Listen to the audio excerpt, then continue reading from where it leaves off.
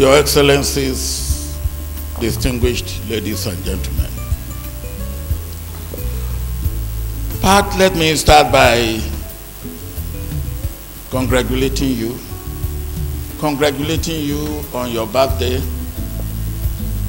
and um, particularly congratulating your wife because when you came here and you said all those good things about your wife, I said, God knows that you are a bad man.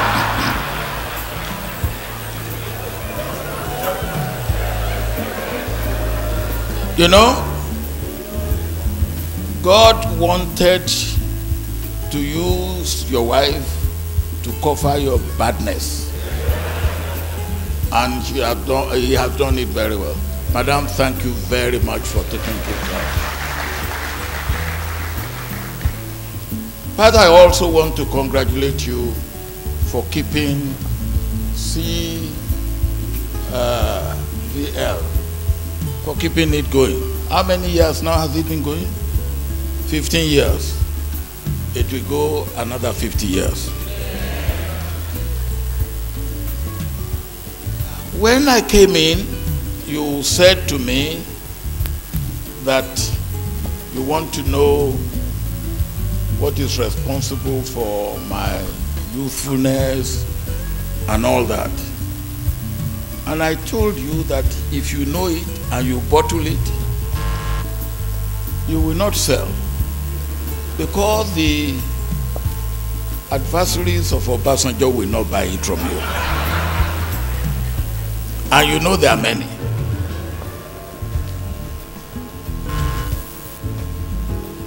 Keller, I want to thank you. You've never disappointed me, and I know you will not.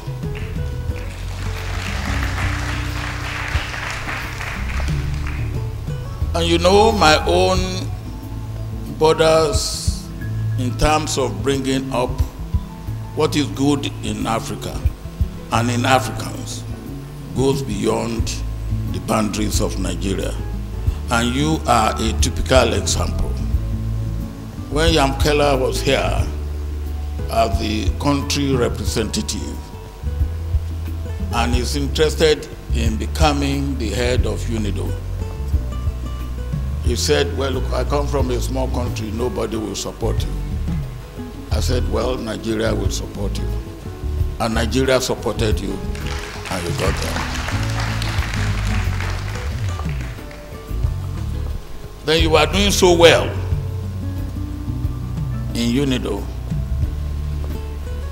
And I said to you, you need to come home.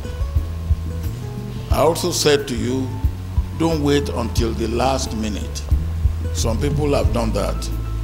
Come home early enough to be part of the game.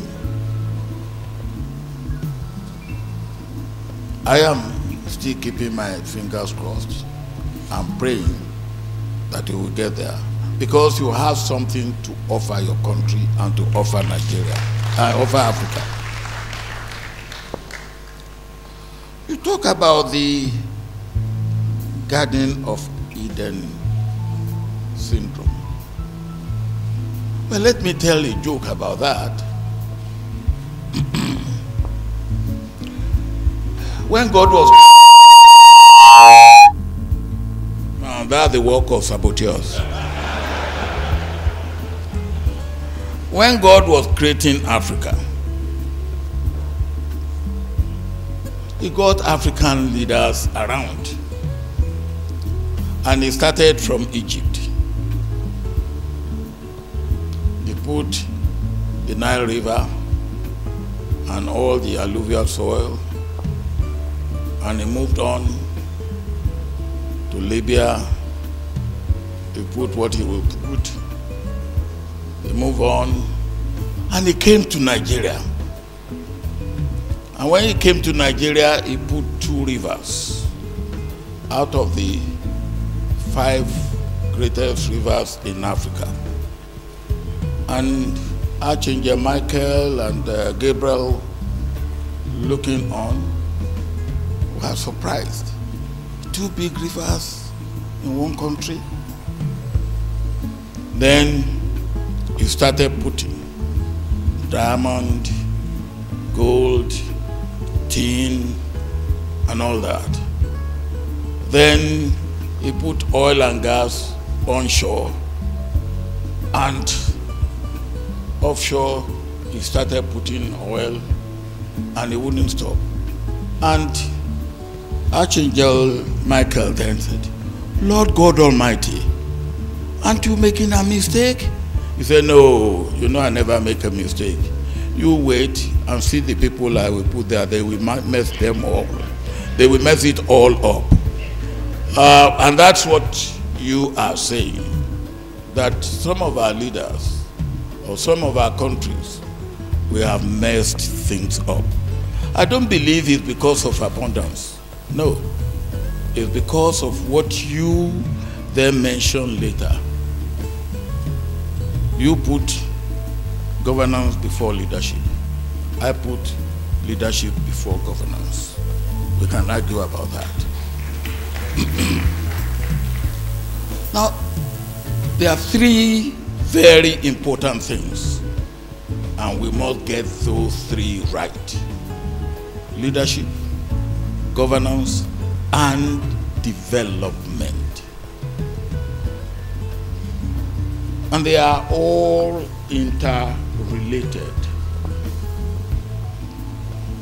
You've talked about leadership that are knowledgeable, that understand the world in which they live in. And that is very, very important.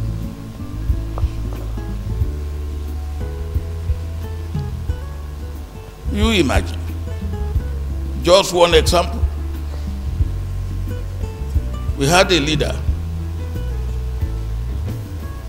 who came from Katsina. I'm not talking of Buhari. Oh. So, because that one is apart. And without mentioning his name, you will know who I'm talking about. He ran the affairs of Katsina State with what he called K34. Katsina State has 34 local governments. And he brought K34 to run the affairs of Nigeria. So what do you expect? I would have expected that he would bring N36 to run the affairs of Nigeria. But he brought K34 to run the affairs of Nigeria. And the result is what you had. That is leadership. Or should I say, lack of it. And from that goes governance. And from that goes development.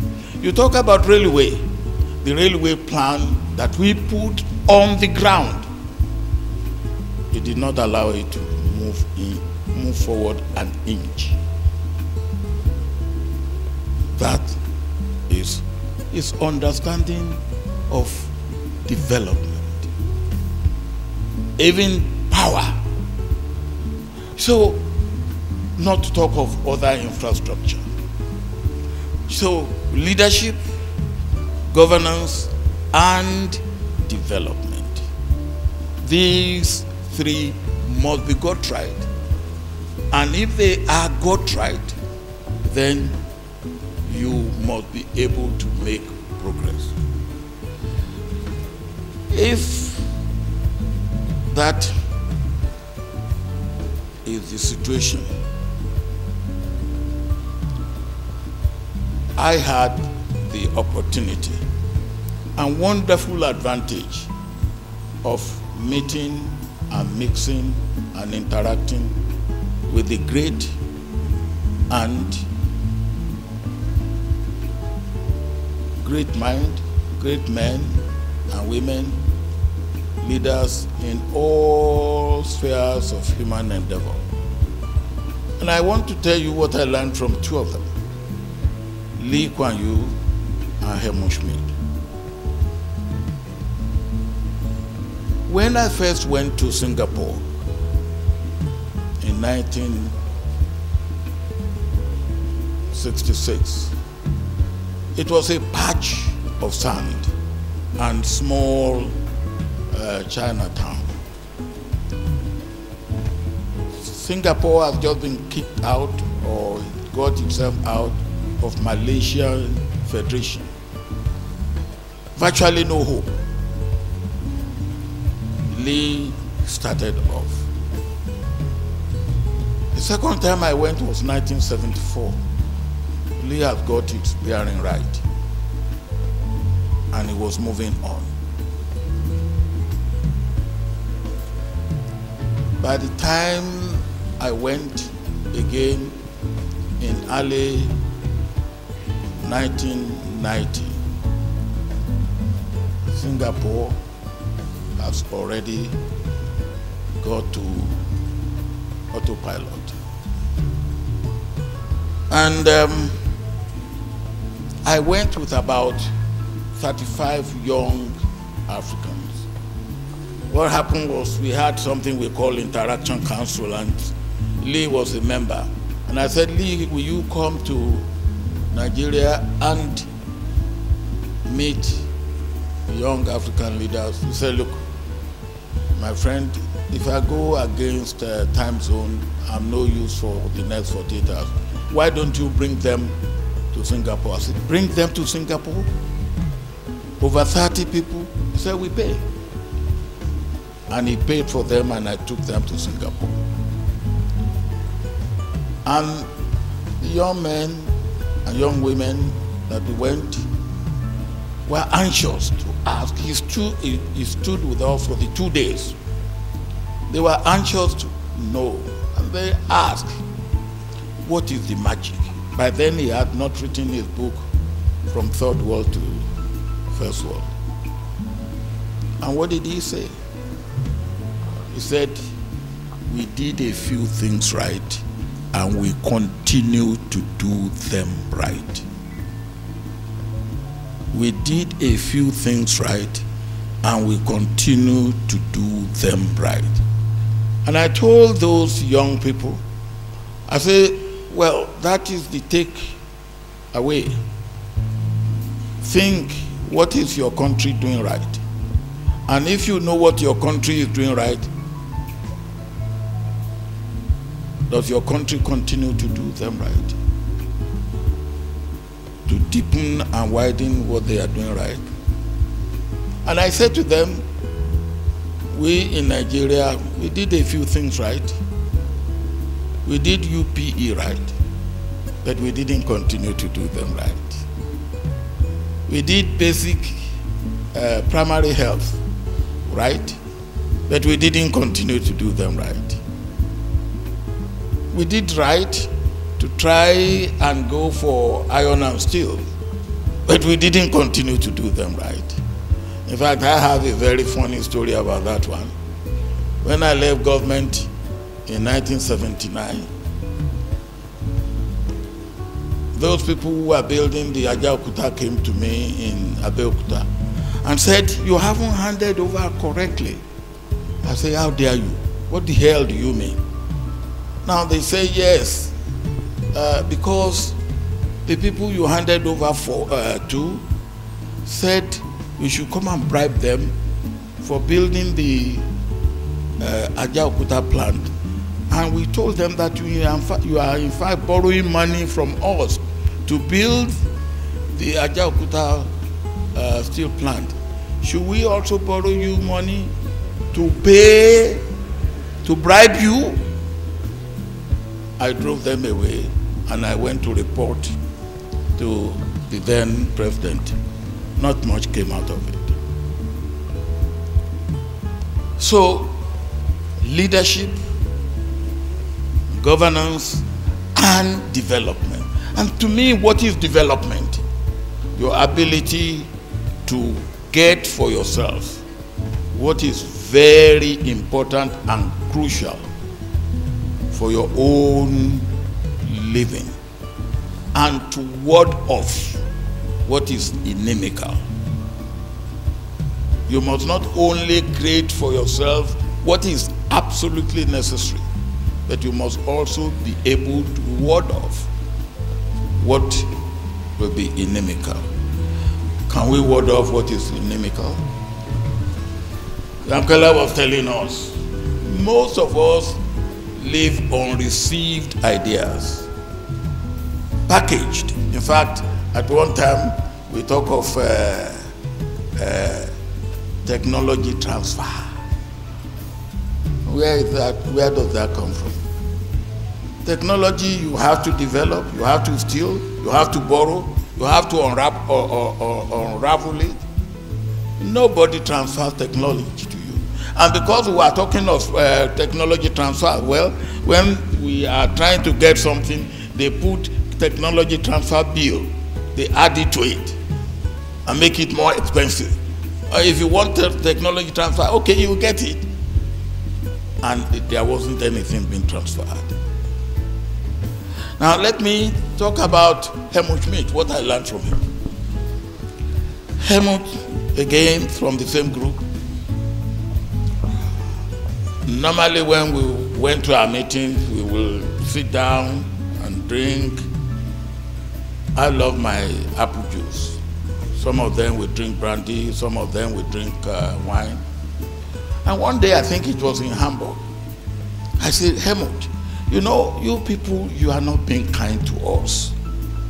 He said, Olu, what do you mean by we people are not being kind to you? I said, look, in the economic arrangement, he said, what do you want? I said, look, everything is loaded against us. And he said to me what he will not say in public. He said, oh, Olu, we devise capitalism for ourselves, not for you. I said, Hemo,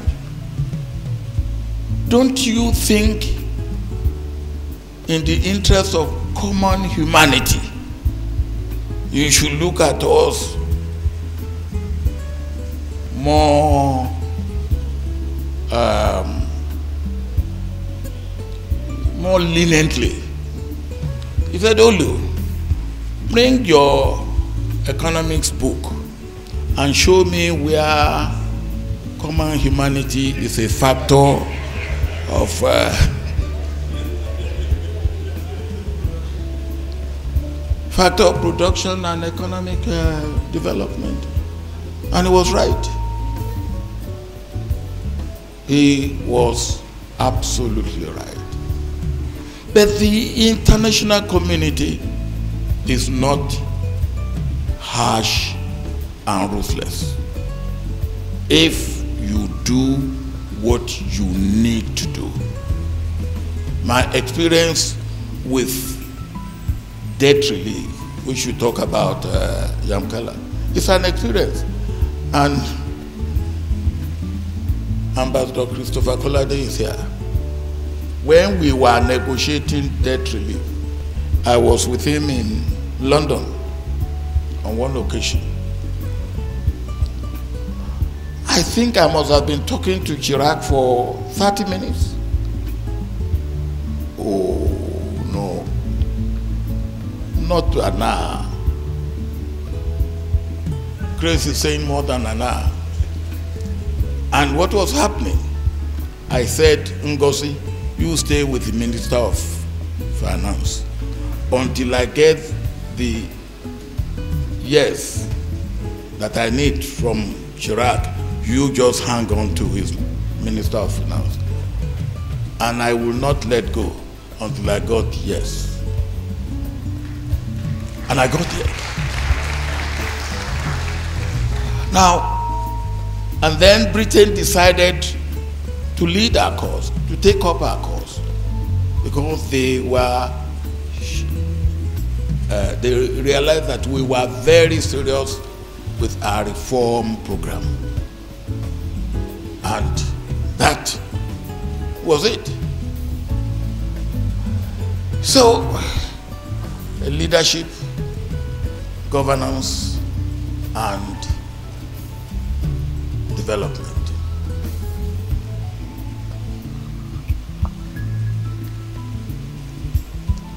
Helmut Schmidt said another thing to me. I started something, an NGO I call Africa Leadership Forum.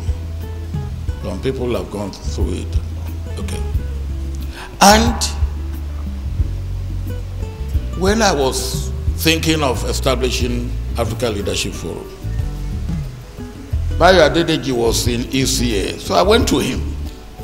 I said, look, I'm thinking of this. And he said, what is your aim? What is your objective? I said, my objective is the successor generation of leaders. So he laughed. I said, Bayo, what are you laughing about?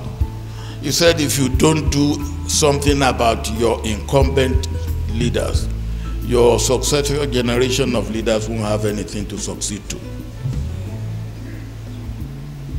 So that had to make me to change what, uh, how we decided to run the Africa Leadership Forum. So to make sure we had something for incumbent leaders, I decided I will bring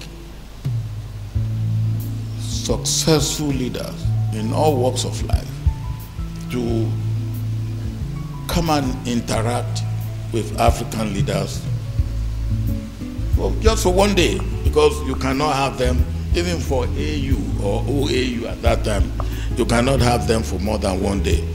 After the, the, uh, the opening day, the second day, half of them are gone. so, and I brought Helmut Schmidt, Jimmy Callaghan, Pierre Trudeau, uh, Bob McNamara. Uh, this, this is the sort of people I brought. And when Helmut Schmidt came, Helmut Schmidt said, and he said to them, for leadership in Africa and for development of Africa, leaders must have modicum of economic knowledge. And he's right. Now, some of our leaders don't even understand what supply and demand means. And I thought that is basic in economic uh, uh, understanding. They don't even understand what it means. So, leadership, governance, and development. You talk about the hope. I am an incurable optimist about Africa and about Nigeria. And there's a lot of evidence to feel that way. The time is of essence. Time is of essence. And um, it is that time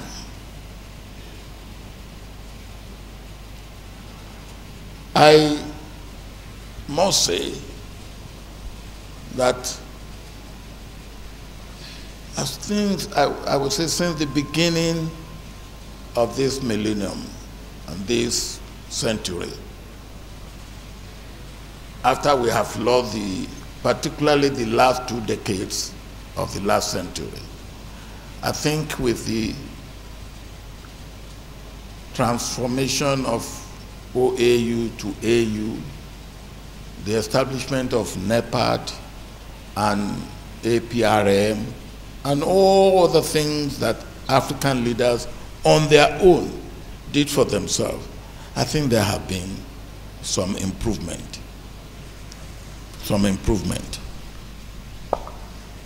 30 years ago, democracy is a reality. Today, lack of it is a reality. I think that is progress. Election results are still disputed and election uh, conduct itself or process is tampered with. But I have said that election results that have been disputed and being left to be decided by the judiciary, an independent judiciary, if we can get that, uh, is better than no elections at all. And um, judging by what happened last year, Gambia in our own West African sub-region, uh, Zimbabwe with a pinch of salt, because I give a lecture in Oxford and somebody asks, what is Zimbabwe? Is it a coup or a change of government or a democratic process? And I did say, what you saw in Zimbabwe, like we've seen in a few other countries, is that the no government by unconstitutional means that is part and parcel of AU Constitutive Act is working. You can see how much the Zimbabwe military kept saying it was not a coup. It was not a coup. It was not a coup. And what was it? If it wasn't a coup. And if it wasn't a coup, why do you have to be telling us it wasn't a coup? And they asked me, and I said, look, the Zimbabwean authorities have said it was not a coup, but I know it is a mini coup. because all they were trying to avoid is for them not to be kicked out of the, EU, uh, of the AU, which will have happened. But we have seen what it is. Now, I have seen, as I said, a bit of change, a bit of improvement. I went to uh, a president the other day, and he was, now four years I was with him.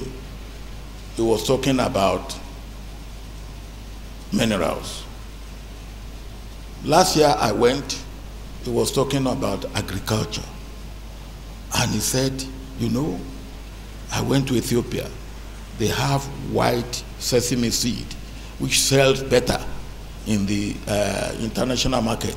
I have got it. 25 years ago, you won't hear that from an African leader.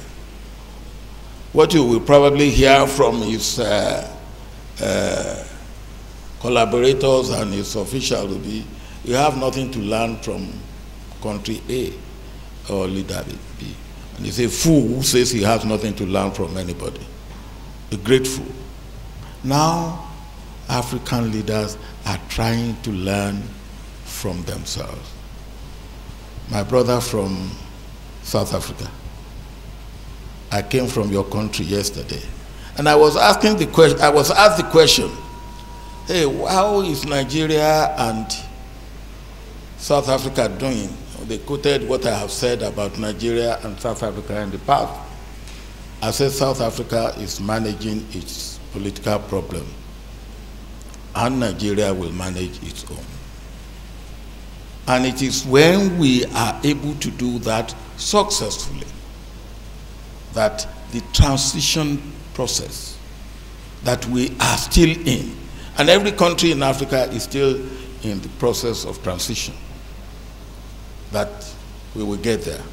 And um, so I see improvement, a little bit of improvement in leadership. You can talk, you talk about Kagame. Uh, some people will say he's undemocratic. He changed his uh, constitution by democratic means. I don't see what is undemocratic about that. You can talk about Ouattara in our own sub-region. You can talk about Ethiopia.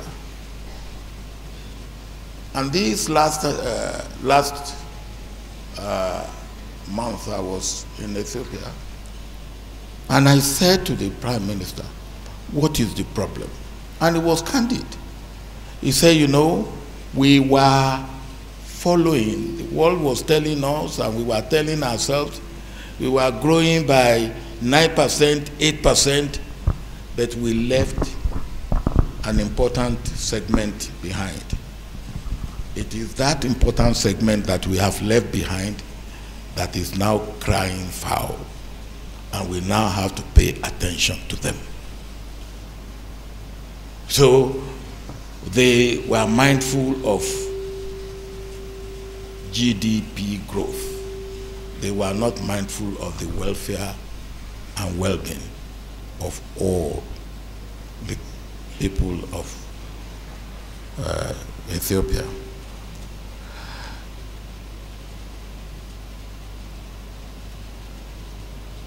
Even technology and innovation, we should talk about, is coming up.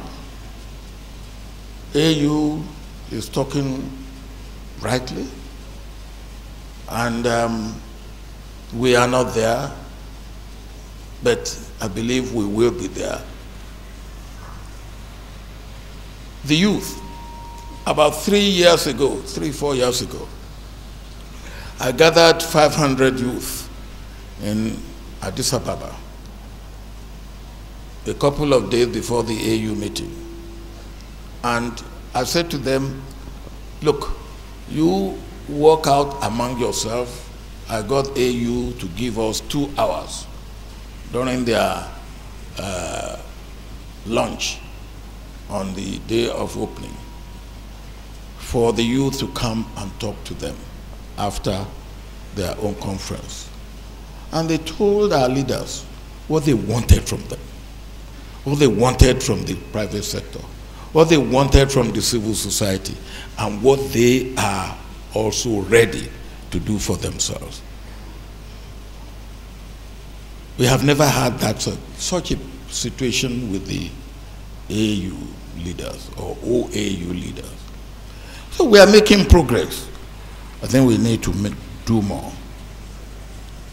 Next month, AU will sign Continental Free, Free Trade Zone Agreement. I think it's on the 24th of next month. That will be a great, great move forward for our leaders and for all of us. We have already got AU passport, which will be of in general use before the end of this month. I wanted to go to an African country. I wanted to go to an African country, and I was told that I didn't have a visa. I was invited by the government of the country for a conference. And of course, because I didn't have visa, I couldn't go. If that could happen to me, then I wonder what could happen to ordinary Africans. So I believe we are moving away from that. The Africa Development Bank set up about three years ago what they call infrastructure fund, 50 billion, and they are managing it. Now these are signs of improvement. Not good enough, but we are making progress. Now, we come home to Nigeria.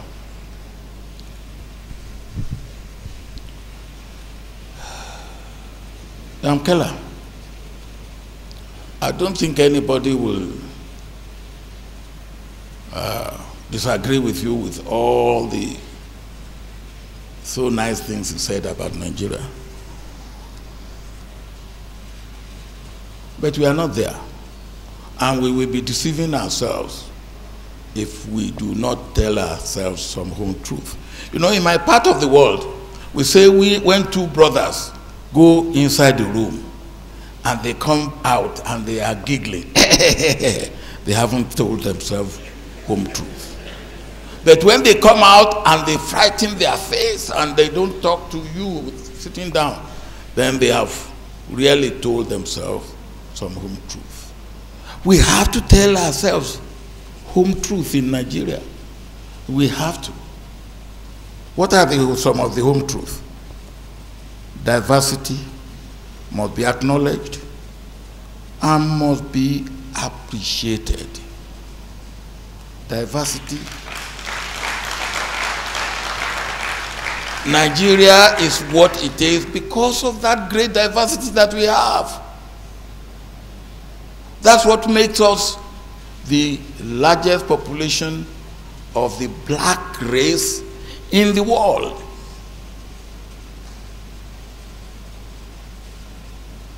I like it. But it should not, we shouldn't make it a liability. We should make it an asset.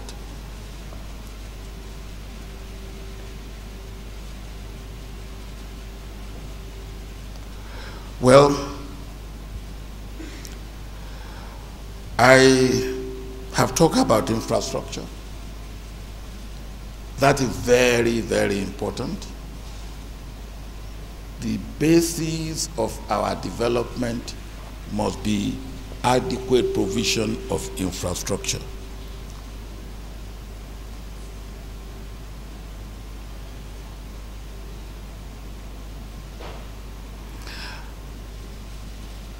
Transition.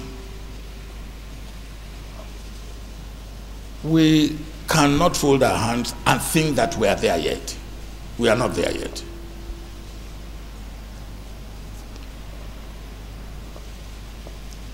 our the first generation of leaders,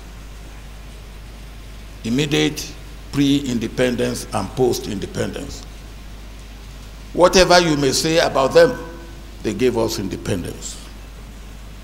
They transited, or they were, there was transition from the colonial power to the uh, local leaders. Within their knowledge, their experience, and their exposure, they did their best. Then the military came. Another transition. Transition to military. Then we transition out of the military. And we have also transitioned from one party regime, change of regime within one party to change of regime between one party and another. But we have to transition to popular movement and give the people of this country the feeling, the belief that the power lies in their hand. We have, until we are able to do that, we are not there yet. We are not there yet.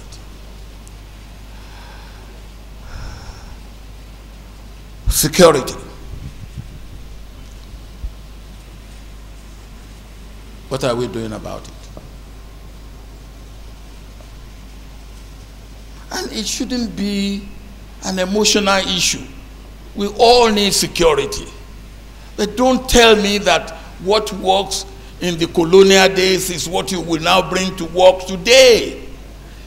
It doesn't happen that way. Or to tell me that, oh, yes, it is my culture. Culture is meant to be dynamic.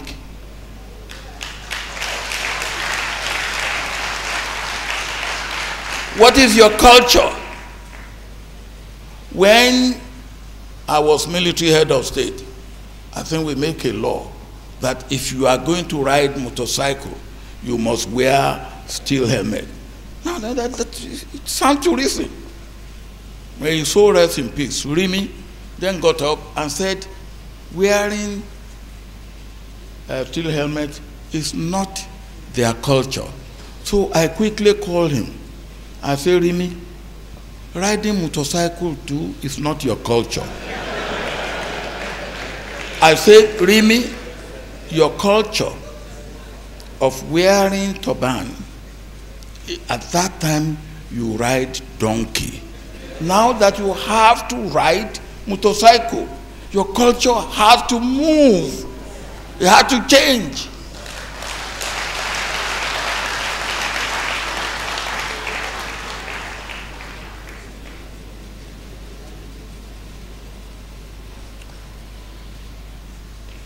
Um, I think Obama was the one who said what we need is strong institutions and not strong leaders.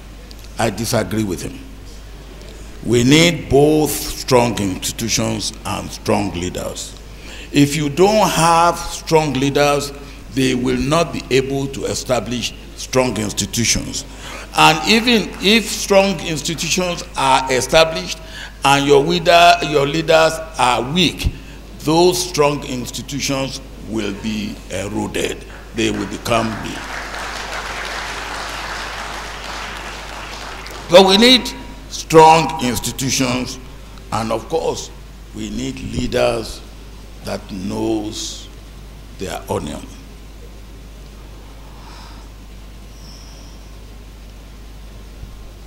I will not leave the issue of education.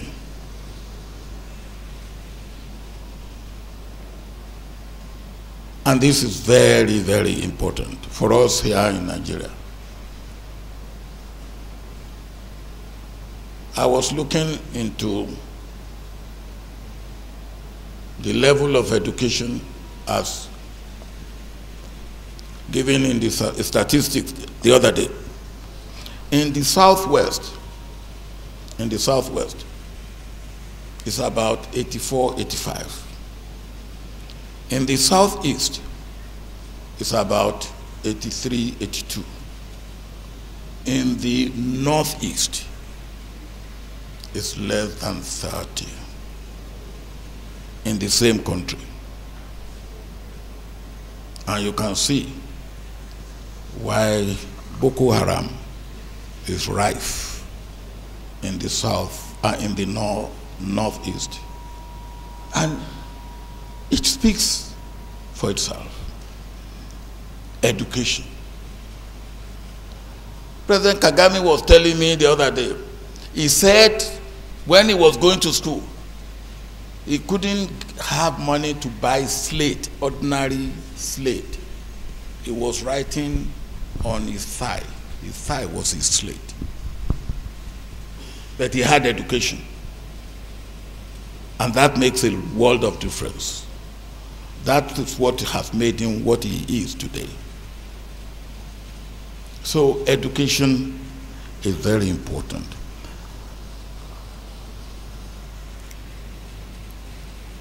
The last point I have here is what I call common prosperity.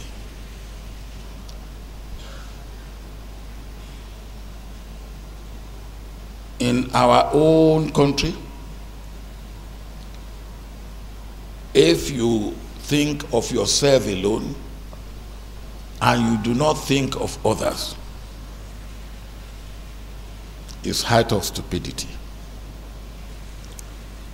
In Africa, if Nigeria thinks of itself alone and does not think of the rest of Africa, we will be an oasis in the midst of desert, and it will be height of stupidity.